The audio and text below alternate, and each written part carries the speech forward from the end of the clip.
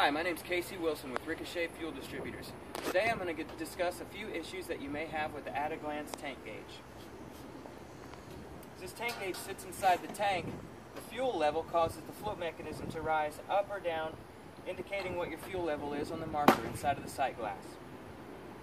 Oftentimes it gets turned clockwise or counterclockwise, which disallows the float from coming up or properly going back down because of the side of the tank. Make sure the indicator arrows are pointed towards the back of the tank and or the part of the tank that has the most open space.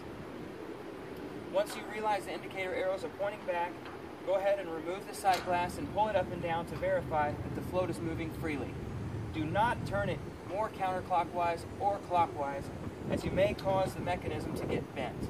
If you have any questions, please call Ricochet Fuel Distributors and somebody from service will help give you instructions. Thank you.